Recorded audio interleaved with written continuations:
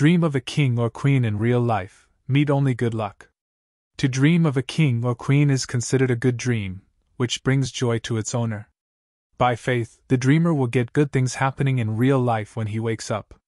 To dream of a king, no matter where you are, is a good dream that will bring you good fortune, especially money from the people around you and those of high status. If you run a dream business, it means that the opportunity to grow will be satisfied.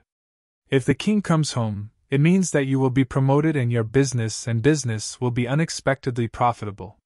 If you dream that the king is talking to you, then life will succeed as you wish and bad things will turn into good.